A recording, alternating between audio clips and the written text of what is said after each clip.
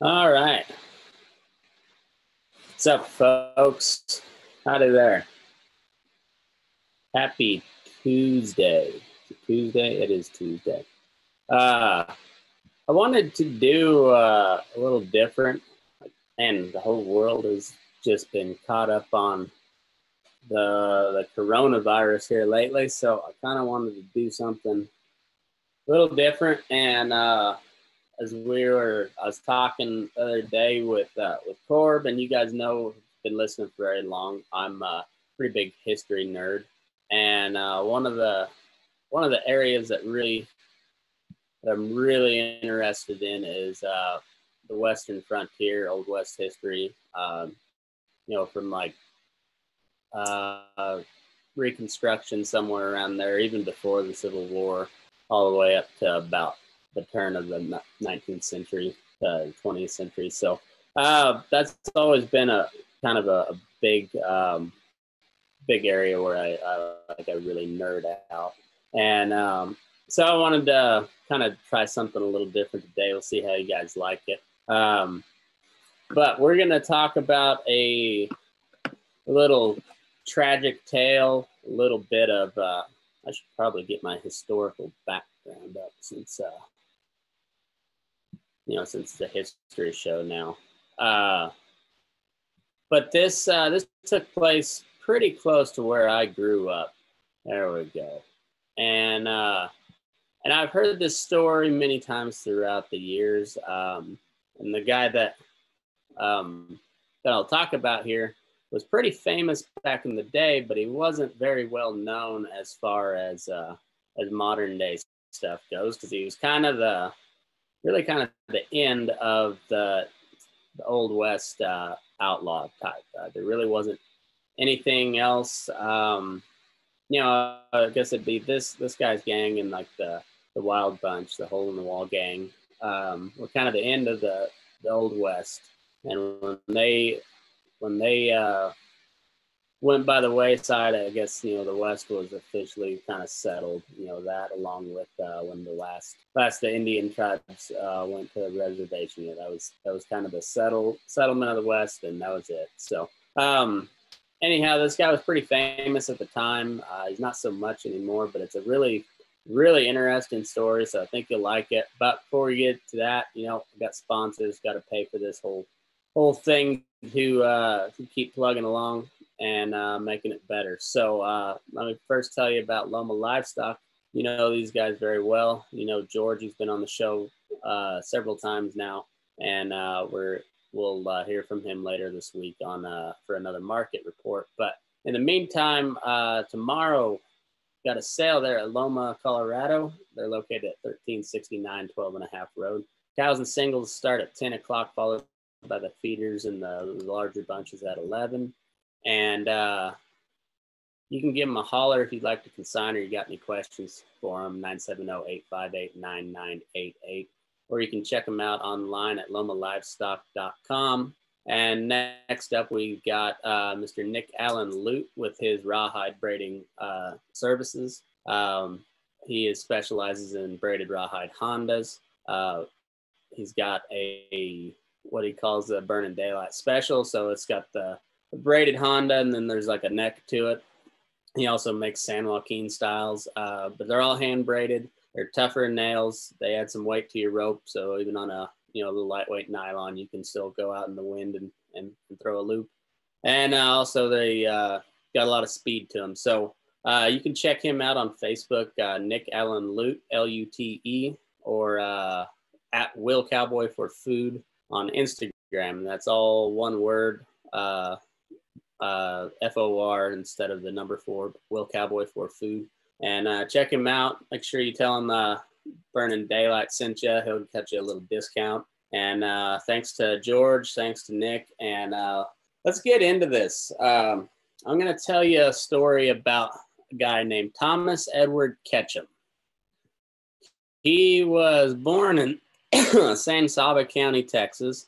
Uh, and he died at the age of 37 in a little place called Clayton, New Mexico, which is about an hour from where I grew up. And uh, he is he is very famous because uh, he is um, not only is he the kind of the one of the last true train robbers of the the old west, but he also died in a particularly gruesome way. So uh, I'll read you a quote from Sheriff Garcia, who was the, the sheriff of Union County, is where Clayton is. And uh, what time, I forget what time of day it said he, but it was uh, April 26, 1901.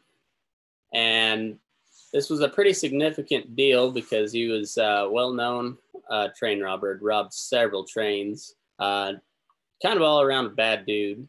Um, second of all, he was the first person to ever be hung in Union County, New Mexico. And uh, third of all, even though he was, uh, he had admitted to killing several people, he was never convicted. So he was not being hung for murder. He was actually being hung for the first time ever uh, for attempting to, tra- to rob a train. And uh, at the time, New Mexico was still a territory, not a state. And uh, they had passed this law because of uh, groups like the Ketchum Gang and uh, and some other bandits that are around the, the area had uh, taken to robbing these trains because a lot of uh, a lot of companies used them to carry their bankroll out to the west coast and you know just deposits and shit back and forth from like St. Louis all the way up to over to San Francisco. And so they hit these trains. They'd, they'd make off the loot. Sometimes they'd kill passengers. Most of the time, not. And uh, and they always, uh, you know, even the good ones had some had some really shitty moments. And we'll talk about one of those uh, here in just a little bit. But they passed this law to really try to make an example out of uh, some of these people when they caught them so it made it a capital offense to uh, attempt to rob a train. And that is what uh, Thomas Ketchum was eventually convicted of.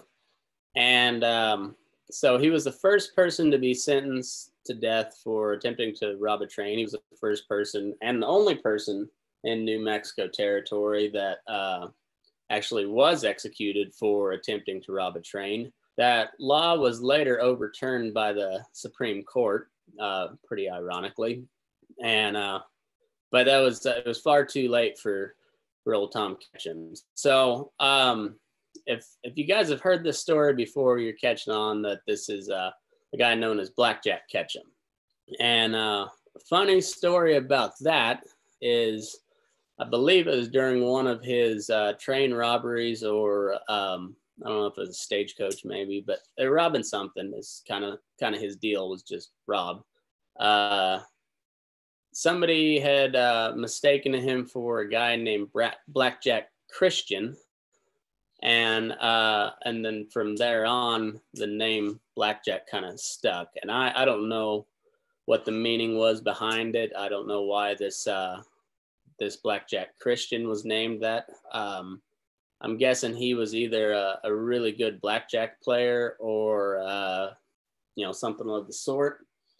But I like to think that the the Ketchum gang, um, that this original blackjack guy was kind of a kind of an effeminate little character. Uh, you know, back when we could use these words, uh, he was he was kind of a queer, and uh, they just made fun of him because uh, he got mistaken for for a gay that was a guy that was possibly gay and uh, that's why uh, he took the name Blackjack. But then he has to own it because he's a tough guy.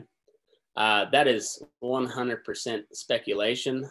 Um, but if you speculate hard enough, it makes it fact. Just ask uh, any of the news media. Um, but so that's what I'm going with. but that that was why he got his nickname.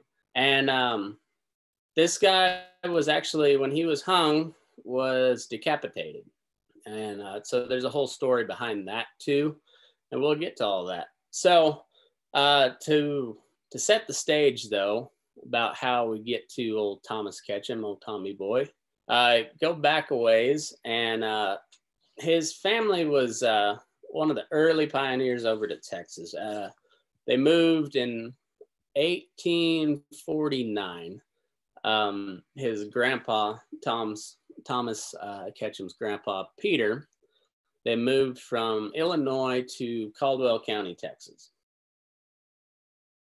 And his oldest son was a guy named Green Berry.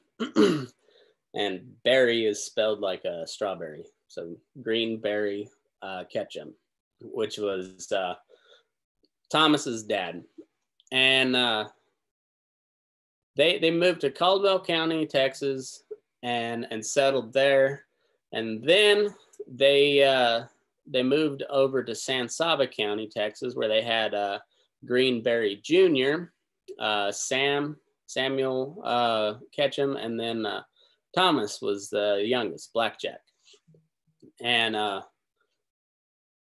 this article I was reading, they say in 1867, well, in 1860, Greenberry, which was Pete's oldest son, Blackjack's dad, they acquired a personal property worth about $4,500, which back in those days was a, a, hell of a lot of money. So they were uh, they were doing pretty well, and so they they bought this spread out in uh, in San Saba County, and uh, they had two girls.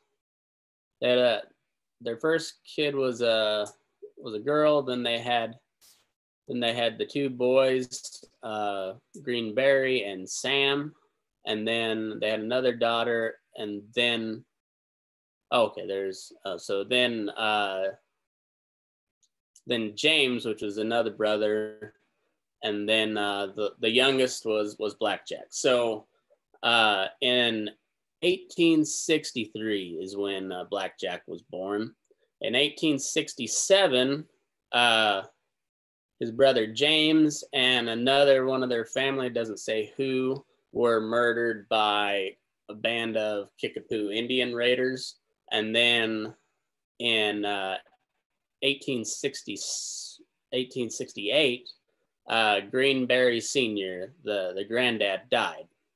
And at the time, you know, it's uh, the family estate basically goes to the, the young or the oldest boy, and then it gets divided up, you know, kind of proportionally uh, down the line. But the, the youngest typically doesn't end up with much. And that was the case for old Blackjack. And uh, apparently he was pretty sour about it uh, the whole time. So Green Berry, who he went by Barry, it says, um, he he kind of took over the ranch, and they ended up moving to Tom Green County, Texas. I think is what the Tom Green, yeah, Tom Green County, and uh, and Sam and and uh, Blackjack they followed him over there, and it says that um, Blackjack Ketchum was always kind of sour at his oldest brother because uh, being the being the oldest surviving kin, uh, male kin, he got basically the whole ranch, and uh, Sam and, and Tommy Boy they didn't get a whole lot, and he always thought that uh, that his older brother Barry had kind of treated him more like a servant or just an employee rather than you know a uh, kinfolk or a brother. So he always kind of resented that. And um, but anyway, they they head over to Tom Green County, and at this point, um, apparently they'd felt fallen some hard times, and the, uh, their operation was about was less than half the value it was when they bought it in 1860. So, and this was 1873 is when when uh, Barry Jr. he when he took over, and and so they'd lost about half the value. Uh, but there was also um, they were also on the losing side of a civil war in that meantime, so that could make up uh, make up a pretty good reason as to why the their place wasn't worth a whole hell of a lot. Um, so, needless to say, it was kind of hard to support the whole family on that that operation. And uh, Sam and and Tom they they go off kind of on their own. Uh, Sam was kind of um, they called him like a Minuteman. Yeah, I guess it was Minuteman was their their outfit, and they were kind of like um, volunteer Texas Rangers, kind of, but not like hardcore Rangers. They're it's more like a national guard, I guess, for you know to protect against bandits. They were the they were the captain call after he retired. Um, you know, protect against bandits and Indians and and all that. But so Sam he goes and, and does that, and I guess he had pretty pretty good uh, service record. And he comes back. He gets married, has a, has a boy, has a girl. Uh, but apparently the marriage didn't work out, and he uh, his wife left him, or he left the wife, and he ends up uh, he ends up going crashing with his sister. Um, and then Tom was stuck at home with with Barry, and then their relationship was just kind of kind of getting worse. And then uh, in 1880 is when old Blackjack first kind of fell uh, crossways with the law, and he was uh, he was summoned for contempt of court uh, because um, he failed to appear as a witness in an earlier case. It doesn't really say what the what the case he was supposed to testify in, but he he just didn't show up, so they issued a warrant, and um, he they uh, they went ahead and they moved. I guess that was when they moved to Tom Green County, and, and Tom went with them, but he was. Uh, you know, just sour about the whole deal.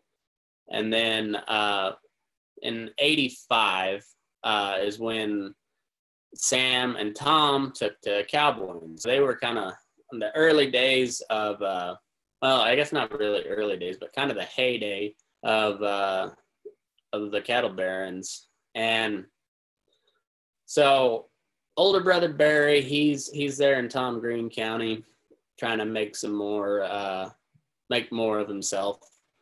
And uh, Sam and Tom, they uh, they go off and they go cowboy. And apparently they they cowboyed all over uh, West Texas there and eastern New Mexico and over into Arizona quite a bit. Um, but then they uh, sorry about that. Um, they had a new sheriff in Tom Green County. And the first guy he arrested was, was Blackjack Ketchum. And his uh, what he had done was chased a dog into a church and then down the aisle while uh, while they were holding Sunday service. And uh, and so this new sheriff uh, he gets elected, and the first person he he arrests is old Blackjack. And uh, and his uh, his oldest brother really really got onto him pretty hard for this. But it turns out that um, he also had his eye on the, the sheriff's oldest daughter, and he actually later married that that old gal. And um, so that just kind of further pushed uh, old Blackjack away. And he so he then kind of took off and um, with with his brother Sam, and they they just went off punching cows and uh, and raising hell. But they they were both apparently really uh, for the time very big fellas uh, and really I guess known to be pretty pretty good looking guys. And um, it says here that uh, that Blackjack Ketchum was five foot eleven, so the average height at around the turn of the century was five foot five. So he's a half head taller than than the average guy, and weighed about a buck ninety. And this is uh, you know, we're, we're talking West Texas in the in the late 1800s, right around the turn of the century, punching cows. You know, still a lot of big open country then, and uh, and you know, even if you can go to town, you you might be able to get some some uh, like salted meat and uh, dry goods, but you know, you're basically yeah, you're you're living off the land out there. So this guy was probably pretty lean uh, still still packing in a, at a buck buck ninety. You know, so pretty pretty solid fella. He was known to be pretty good with the ladies. Uh, he did, he never really stayed anywhere very long, um, and apparently he was a really good shot. So he um, him and Sam they took up with this fella named David Atkins, and uh, and th- this guy later on uh, after him and Sam got busted robbing a train, he said that uh, that Thomas Ketchum was a very brutal man, and so he was uh, you know pretty tall guy, big stout, dark skin, had a great big black mustache, um, you know, and, and pretty good looking guy. So his brother Sam was kind of light skinned and uh, almost a ginger, more of a day walker. Um, he wasn't quite as tall as Tom, but he was uh, he was just almost as tall, and was also supposed to be you know pretty pretty good specimen of a man.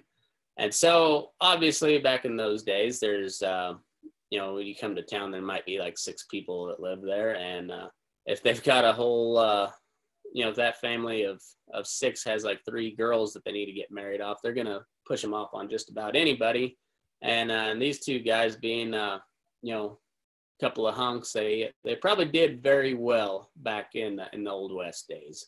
Um, once again, that is 100% speculation on my part, but there we go. Um, but they they kind of bounced around. They they they worked for several different big outfits. They they robbed stores and post offices and shit here and there. Um, but they you know, they were never really, um, they never really fit in anywhere. And they didn't really start, uh, they didn't really start going off the rails until it was, uh, son of a bitch, lost my place. Uh, it was like 1895 Okay, so it was before they, they started robbing trains, uh, no, 1892 is they they robbed uh, Atchison, Topeka, and Santa Fe. That was on its way to Deming with uh, with a huge payroll, and so they they set up their ambush outside of a place called Nutt, N-U-T-T, New Mexico, which was uh, a water station. So just uh, you know had a water tower, and those steam engines would leather bound books. It is mahogany, Brett Stanley. It is. Uh, and so they they stop at this water station. They and they set up their out their ambush. And uh, so as they they come in the, to get water to refill the boiler, they they hop on, hold the conductor and the engineer up at gunpoint, and at that, that point, they didn't do uh, they didn't do anything except uh, you know blow the safes right there, and they made off with about twenty grand. And uh, but somehow, when they were setting the charges or whatever, the conductor got away, and um, and they they sent out a telegraph. Posse was on the way, and uh, by the time they they got there though, the the whole gang had split up. They uh, they found their they found a safe house. They hold up there, and then uh, Blackjack he he heads over into Arizona, and uh, says the the loot that they got, twenty grand, was was never recovered. So they probably spent it, gambled it off, and um, and then in 1895, um, a neighbor of uh, of the older brother Barry back in Tom Green County, a guy named John Jap Powers. I don't know why he got the name Jap that early on in uh, in you know the late 18, 1800s. I would venture to bet most Americans didn't even know Japan existed, so I doubt this guy was was a Japanese fella, but anyway, his his nickname was Jap for some reason, and apparently he had had some beef with uh, older brother Barry, but um, nothing too terrible. But he he was also unliked by a bunch of the other neighbors, and he got killed some uh, by Tom and some other guys. Um, he was never really uh, he was never really a uh, a suspect in that murder, but he later admitted uh, to do it, said he was paid to do so.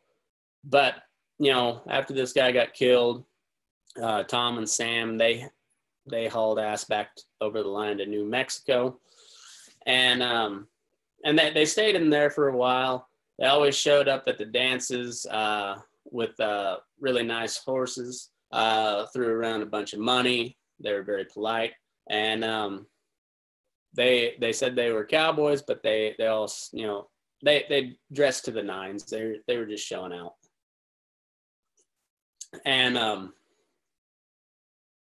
they uh, they worked at the Bell Ranch, and then they um, then they quit and they stole a bunch of supplies and shit, and then um, then they showed up in uh, Liberty, New Mexico, which is uh, over by Tucumcari, and they robbed a, a, store and a post office, and then uh, they they hauled ass, and actually, I guess the guy that uh, owned the store that they robbed um, led the posse chasing after them, and uh, they got to the Pecos River, and uh, they had a shootout, and uh, most of the posse guys got killed, and then they headed back into Arizona and uh, apparently they they met, met up with Butch Cassidy and uh, and the Wild Bunch over there from time to time, but they they they felt pretty good about about robbing trains there in uh, in northeast New Mexico,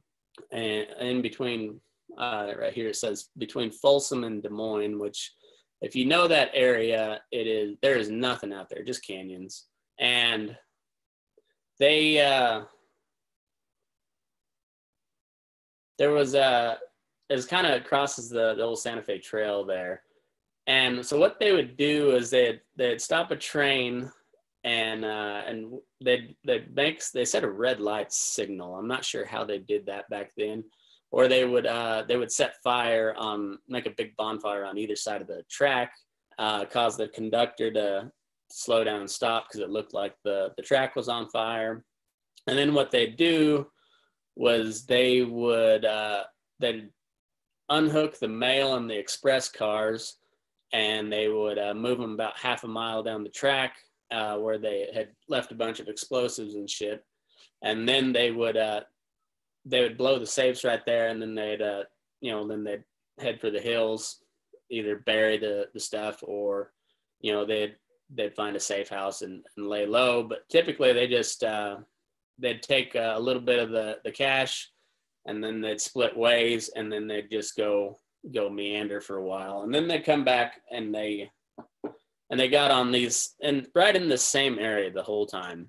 So that first time in uh when well i guess it didn't 1897 it says they they made off with about 20 grand in gold and 40 grand in silver. So you know it's a it's a pretty good chunk of change today but that's a shitload of money back then. And um, they lived in a cave south of folsom uh, for a day and then they you know they took off. And then in 1899 they they did it again but this time blackjack was not there. And they uh, they were over by Dry Canyon, uh, New Mexico, and Sam and a couple buddies they made off with 50 grand and then they uh, they had a posse chase them over to a place uh, over by Cimarron, New Mexico, which is where uh, right around there where R.W. Hampton lives now. But the, these, you know, Sam Ketchum and his buddies, they were, uh, of course, they had a, a shitload of money because they'd been robbing trains. So they had all the best stuff. And uh, so they, they pretty well uh, gave these, gave the posse hell from this, this hideout. But they both got uh, shot and they both got captured. At least uh, Sam Ketchum and uh, Elza Lay is the guy's name, or also known as uh, William McGinnis. And um, but they they got captured, but the but the posse they killed the sheriff and uh, and another posse guy and then injured another. Uh, but they you know, they got Sam Ketchum, they got Willie McGinnis, and uh, they're taking to to hold trial, but Sam got gangrene in his arm, so he got he got shot like right above the elbow. Must have shattered the bone, and they, they went to amputate his arm, but it was already uh, already had the gangrene, and he died before he could uh, serve out his sentence. Or I don't think he was ever even convicted. And then the other guy, Willie, he was arrested and he was convicted for murder and sentenced to life in prison. And then uh, one of the other guys, he uh, he escaped that that hold up there, and then he ended up meeting back up with a wild bunch. So in the meantime, uh, I guess before that, Sam and uh, and Blackjack had uh, had kind of come to blows over something. Um, Blackjack, the more money they got, the more trains they robbed, the more it got to his head, and the more violent his temper got, and the more he drank, and he was just kind of, kind of just becoming a regular old fuckhead. And um, and Sam said, uh, you know, piss on you. We're doing our own thing. And um, I guess this had happened a couple times before, but um, Blackjack had told uh, later on when he got captured, he told him that he was on his way to mend fences with Sam and they were gonna rob this train. But you know, being back in uh, you know 1900, 1901, they didn't have social media, and uh, he he didn't know that they had already uh, robbed a train. So he um, he gets to their their normal meeting spot, and uh, they don't show. Uh, they usually, I don't know how they did it. They check in, you know, every couple of weeks or something like that. But anyhow, he, he figured out they weren't there, but he didn't know that they had, you know, robbed a train, made off with a bunch of money, and then got captured by a posse. So he uh, he decided, well, piss on it. I'm just going to rob this train myself, which is, you know, pretty ballsy move. Got to respect him for that. Maybe not the smartest move, but ballsy. Um, even worse off for old Blackjack's luck, though. The conductor on this train he was about to rob, his name was Frank Harrington. And this was the third time he had been robbed, held up and robbed. And I'm sure he'd been roughed up the first couple times. and um, I imagine not only was he worried for his life, but he's probably worried for his job because I don't know how many times they let you uh, get your train robbed and looted uh, before they just fire your ass. So I don't know how that worked, but this was his third time and he wasn't having it anymore this time. And uh, he, he brought a shotgun with him. But anyhow, they um, they did the old fire trick, set a bonfire on both both sides, and uh, he got him to pull over. Blackjack he hops in, holds the conductor, at a gunpoint, and uh, he had him pull up ahead to where he had uh, where he was going to uncouple these cars. The the hell of it was that this uh, this particular railroad line, the Atchison, Topeka, and Santa Fe, had an old style uh, clevis hitch on these on these uh, rail cars. So when you were stopped on a bend in the track, those uh, those pins wouldn't come unlocked, and so he wouldn't wasn't going to be able to uncouple those cars. So apparently he was uh, he was giving them hell and had the had those train workers uh, just beating the shit out of the pins on these these uh, hitches trying to get them unhooked and uh, but they were they're in the wrong spot wasn't going to happen and uh, and you know he was he was cussing and and you know smacking him on the head and shit.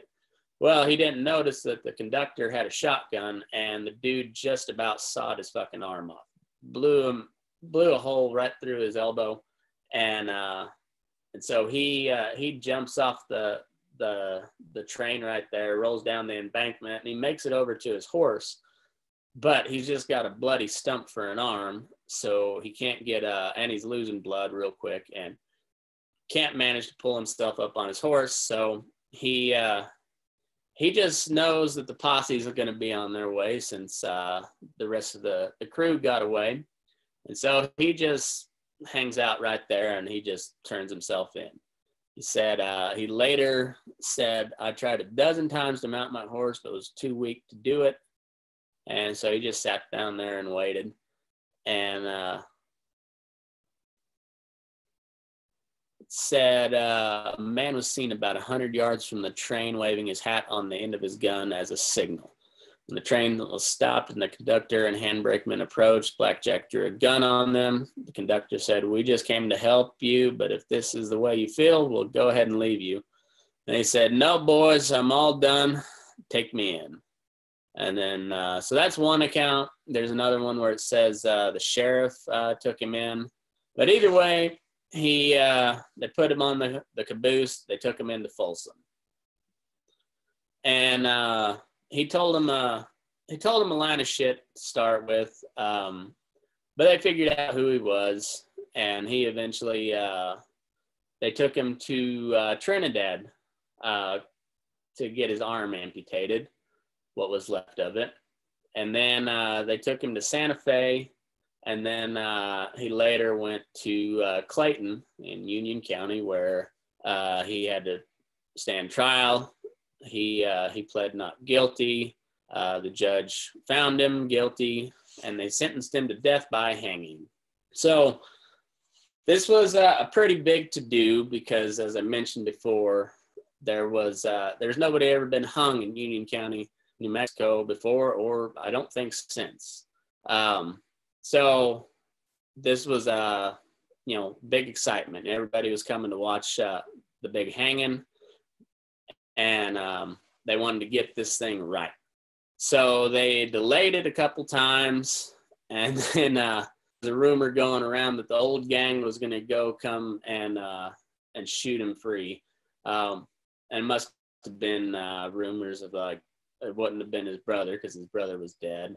Um, but there there was probably rumors that the Wild Bunch was going to come in guns ablazing and so finally, they decided on April 26, 1901, at 8 o'clock in the morning, he was going to be hung.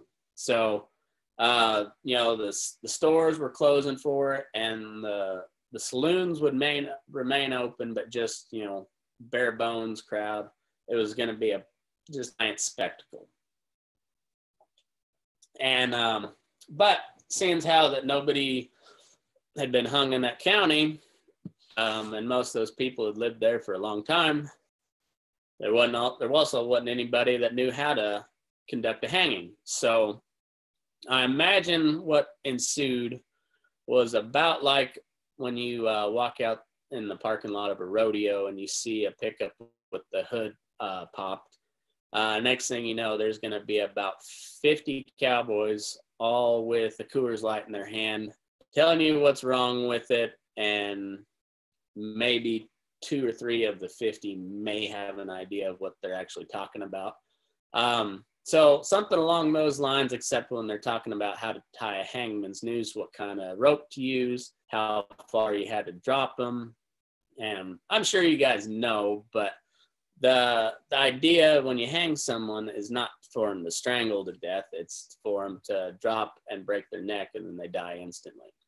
So there's all uh, there's all a bunch of math to it, and um, so they, you know, they they had a had a big to do about it, had a bunch of ideas being thrown thrown around, but somehow they uh, they ended up setting or they decided on a drop of seven foot nine inches and uh, they were they were really worried about it because there was people coming from all see this thing, real worried.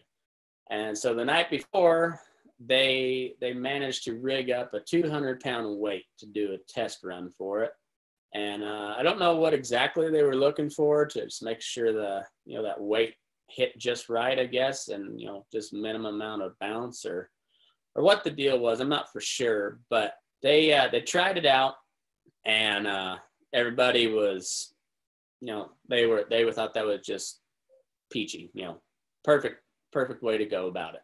So they uh, they all go off to the bar to celebrate, and the next morning at eight o'clock, they lead old Blackjack Tommy Boy Ketchum up the stairs, Uh, he's got, you know, just a, a arm and a half, and he's got a black hood over his head, and they've got that hood attached with a bunch of uh, like big um, safety pin type deals. They put the noose around his neck and everything, and uh, they dropped the trap at 8:17 in the morning. And uh, next thing you know, he's sure enough, but in their celebration for getting this test go, you know, satisfactory test run on this this hanging, they uh, they failed to remove the 200 pound weight that they were using uh, in this test run, and they also used uh, too much of a drop. Apparently, seven foot nine inches was way too much of a drop and uh, they used too small of a diameter. What the what the diameter was, but apparently it was too small.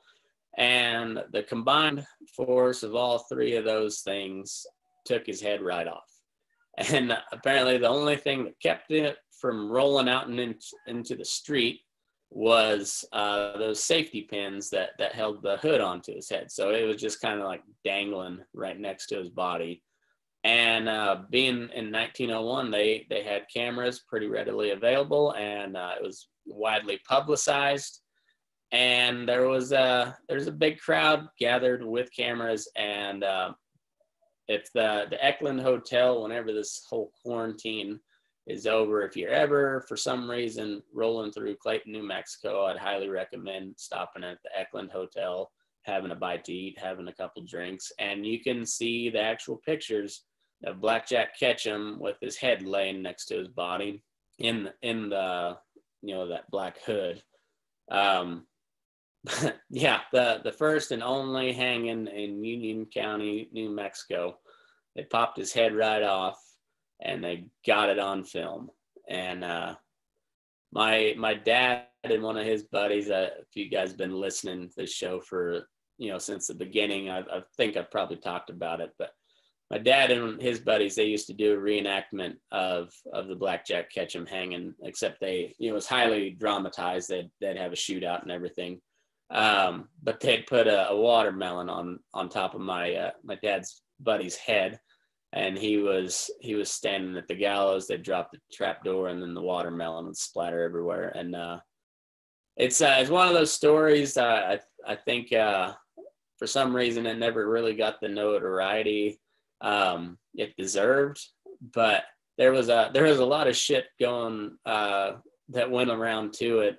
Um, you know, from the law that was being used to prosecute him and uh, and convict him being overturned by the Supreme Court later on, uh, and basically that the law that law in the first place was meant to uh, directly for that guy uh, black for Blackjack Ketchum and uh, and people like him, but mostly his gang because they had hit so many trains in that same part of uh, New Mexico that you know they uh, they were really getting tired of this guy because he was he was making uh, New Mexico look bad, and you know New Mexico still being a territory at the time. They're trying to attract enough people and uh, and do everything right so they can apply for statehood. And uh, and this band of thugs and scallywags uh, robbing a bunch of fucking trains ain't helping their cause. So they they really wanted to get rid of this guy, and they got rid of him in probably the most brutal way possible. Uh, man, it makes for I don't know about you guys, but I, I think it made for a hell of a story. I it's it's kind of funny how far we've come since you know that was a hundred and 119 years ago, almost to the day we've uh, we've come a long way. So, uh, you know, with all this uh, quarantine lockdown bullshit, uh, just remember it. Uh, it could be worse. We uh, we're not living in the, the old west times. So even though there's a lot of times I wish it was, uh, but there's still a lot of modern conveniences that uh, we we kind of take for granted, and uh, and you don't have to worry about um, getting convicted of robbing a train and getting your head popped off. So that's that's a good thing. But anyways, that's I think gonna do it for me tonight. Uh, I hope you guys enjoyed it. It was uh, it was fun for me. I'm gonna try to do a few more of these um, these history style podcasts. I that that shit has always interested me, so I might as well share it with you. So I'll try to find some uh, some interesting stories like this and and do do some more. But um, go find me on uh, social media, Matt McKinley on on Facebook uh, at MickerMac85 on Twitter and Instagram. Show page is Burning Daylight. You're watching it right now, and um, you know at Move Your Ass on Twitter, Instagram, Snapchat. Make sure you uh, you share the stuff if you like it. Um, get the word out to more people. Uh, subscribe to the YouTube channel if you would. I'd appreciate it. And um, thanks, uh, thanks to George and Nick for for supporting the show. Uh, and um, appreciate you all watching. So uh, that's going to do it for me tonight. So move your ass. We're burning daylight.